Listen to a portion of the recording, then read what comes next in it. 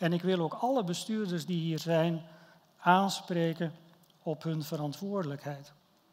Er wordt nogal wat bestuurd uit een ander belang dan het patiëntenbelang.